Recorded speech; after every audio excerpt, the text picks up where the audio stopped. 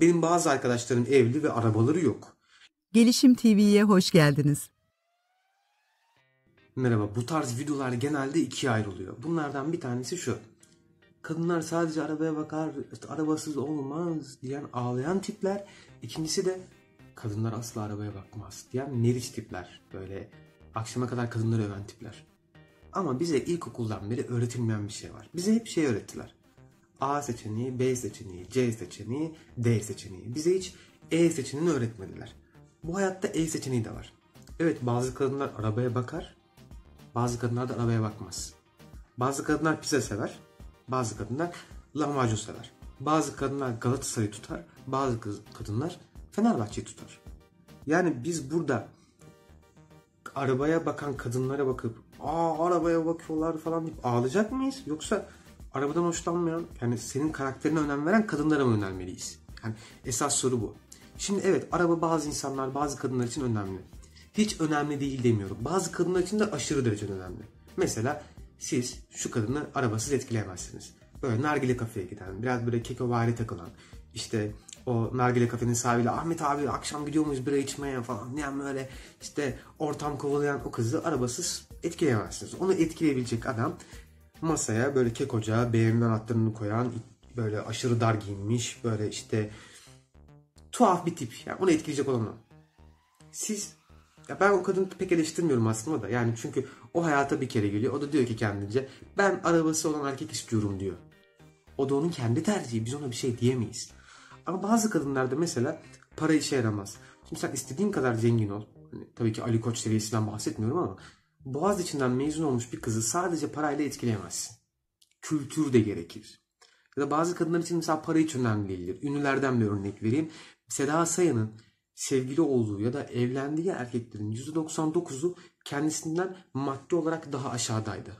Şimdi siz Seda Sayan'ın karşısına çıkıp da böyle mesela gittiğiniz zaman ben zenginim yahu falan dediğiniz zaman Seda Sayan size şunu der.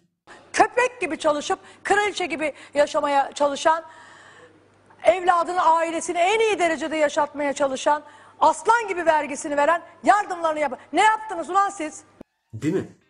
Seda Sayan'ın size diyeceği şey budur. Demek ki evet para bazı insanlar için önemli, bazı insanlar için önemsiz.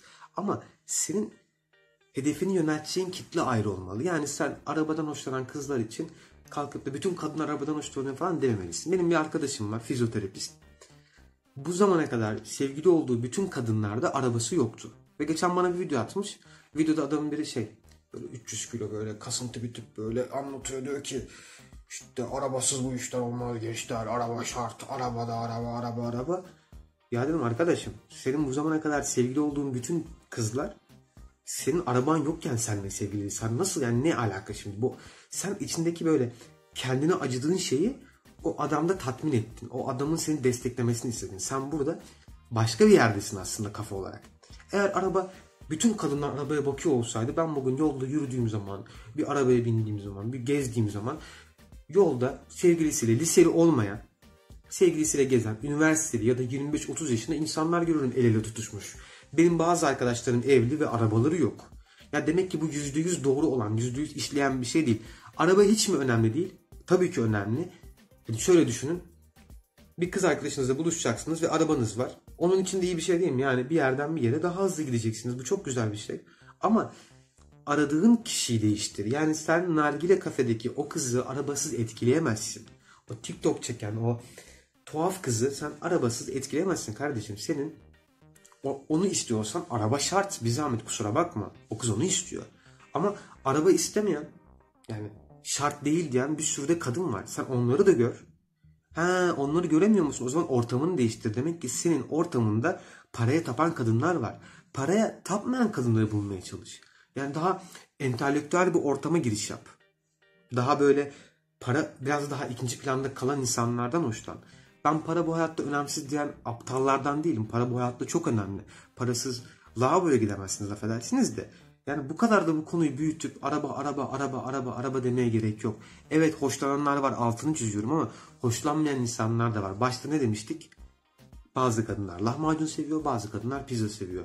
Yani sen Galatasaray'ın ürünlerinin satıldığı bir yere gidip Fenerbahçe forması arayamazsın. Bu da böyle. O kadın hayatında bunu istiyor, başka bir kadın da başka bir şey istiyor. Sen sana uyan insanla bir arada olmalısın. Yani sadece hayatında biri olsun diye bir kızla takılıyorsan o başka bir şey ama kendi görüşlerine, kendi fikirlerine önem verecek bir kadın istiyorsan başka yerde arayacaksın.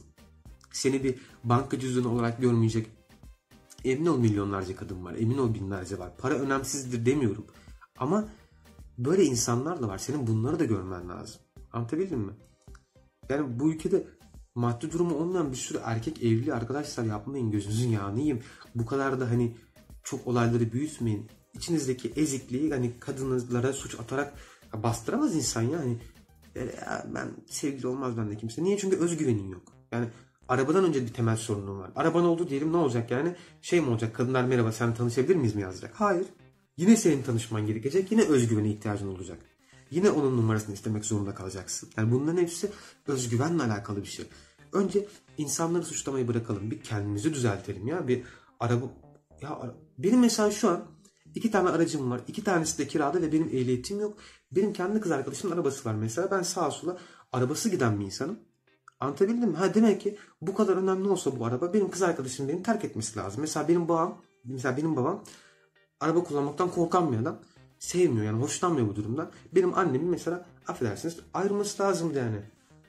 Değil mi? Yani benim üvey babam olması lazımdı. Hani arabası olan biriyle annemin evlenmesi lazımdı mantıken. Çoğumuzun annesinin de aynı şekilde bunu yapması lazımdı.